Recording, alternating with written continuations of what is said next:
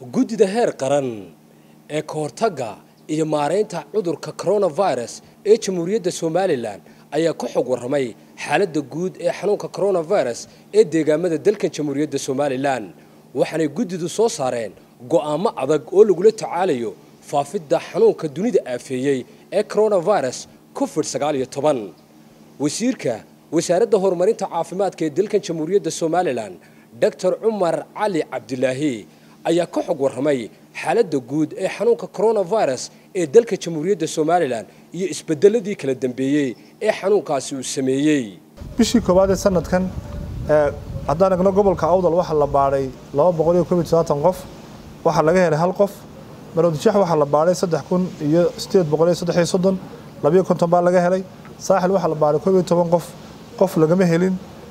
Togdheer waxaa la baadhay qofaa laga helay sool waxaa la baadhay labiyo afartan qof qofna lagama helin. Sanaag waxaa la baadhay sagaal iyo toban qof hal qofaa laga helay. Dhimashadu markaad eegto bisha koobaad ee sanadkan waxay ahayd gebigeeduba laba qof.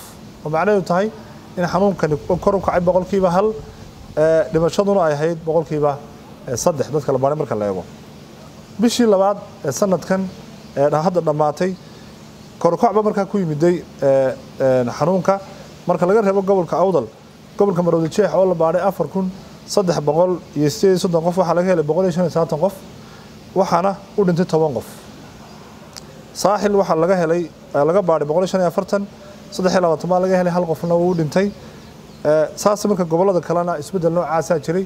Marka waxaan dareemaynaa inuu bishii koowaad laga soo bilaabo ilaa tii labaadna uu isbeddelkaasi uu jiro. Dadka laga helaya xanuunku bishii labaad wuxuu kor u kacay boqolkiiba shan dhimashaduna waxay kor u kacday boqolkiiba lix. Oo macnaheedu tahay boqolkiiba saddex bay bishii hore ee koobaad dheeraad ka ahayd. Bishan aynu ku jirno oo aan weli dhammaanin oo maanta labayo labaatana.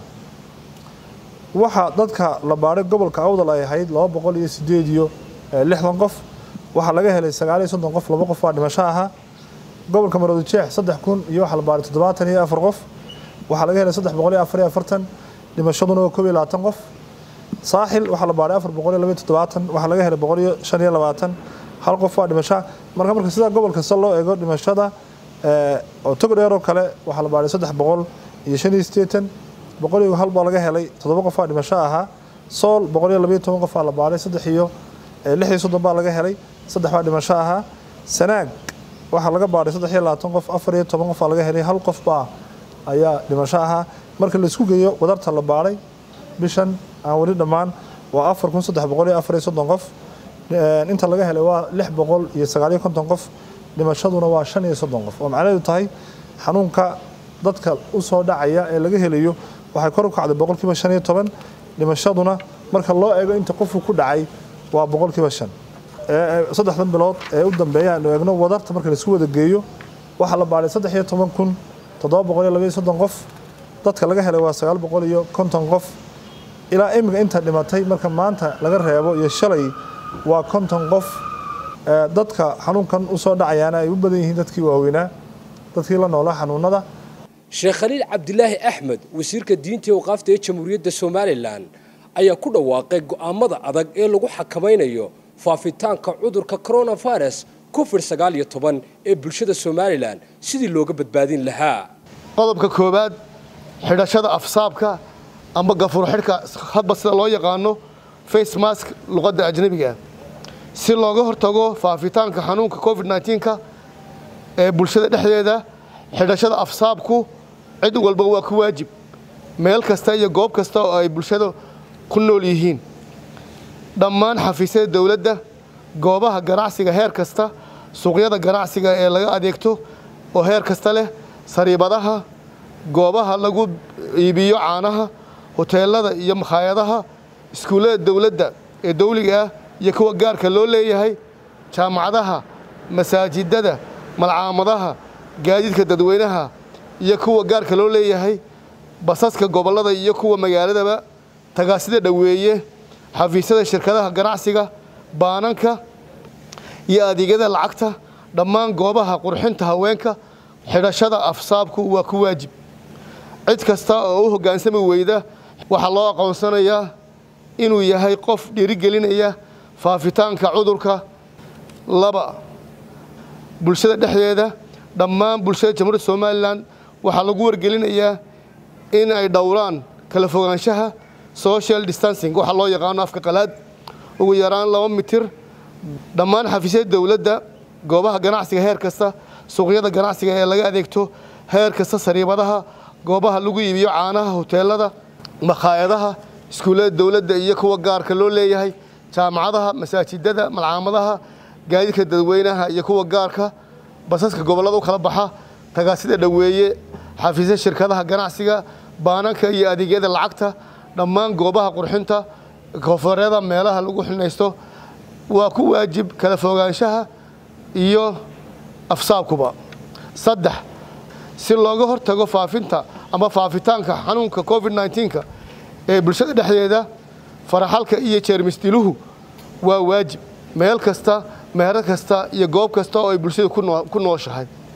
Dhammaan xafiisyada dowladda goobaha ganacsiga heer kasta suuqyada ganacsiga ee laga adeegto heer kastay tahay faraxalku iyo jeermisdiluhu waa ku waajib. Cid kasta oo hoggaansami weyda faraxalka iyo jeermisdilaha goobaha ay bulshada ku kulanto waxaa loo aqoonsanayaa inuu yahay ama ay yihiin dad dhiirigelinaya faafitaanka cudurka oo aan bannaanayn.